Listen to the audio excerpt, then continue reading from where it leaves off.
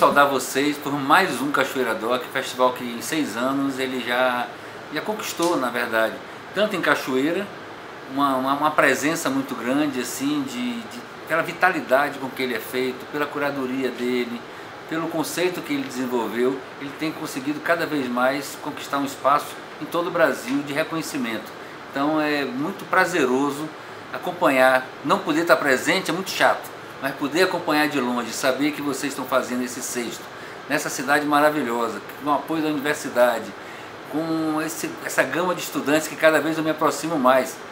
de, dos problemas e também dos desejos e também da possibilidade de discussões e quero estar presente pessoalmente, mas quero estar presente principalmente institucionalmente, ou seja, no que a Secretaria do Audiovisual puder colaborar